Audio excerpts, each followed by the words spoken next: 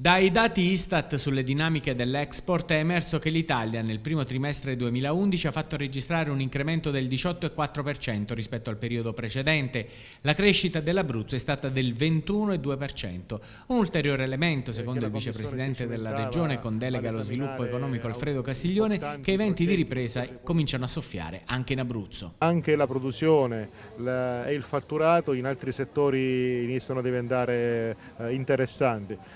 Questo sta a significare che la Regione deve accelerare e avere maggior coraggio nel portare a termine alcune riforme che la metteranno in condizione di poter agganciare più velocemente quella ripresa che io mi auguro stia dietro l'angolo. Non potendo disporre di risorse endogene, ottimizzare le risorse che vengono dalla Comunità Europea significa che bisogna accelerare assolutamente entro luglio, e qui lo dico davanti a una televisione autorevole come la vostra, che bisogna eh, assolutamente approvare la riforma dei consorsi industriali entro la metà di luglio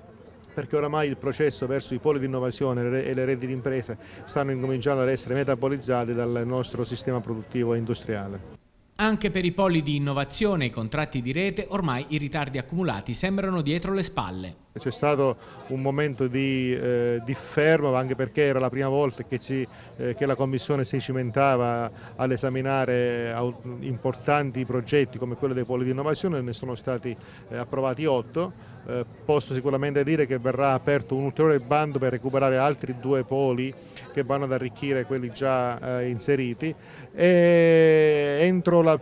fine, prima delle ferie o alla ripresa in autunno uscirà il bando mentre per i contratti di rete. Ecco, i contratti di rete e i poli di innovazione saranno il futuro della nostra regione, però bisogna superare quel concetto, così come ho detto prima, della suddivisione a territorio, a compartimenti stagni della nostra regione che ha portato ad una superfetazione e parliamo di consorsi industriali che oramai sono pieni di zavor, di compromessi di cui l'Abruzzo non,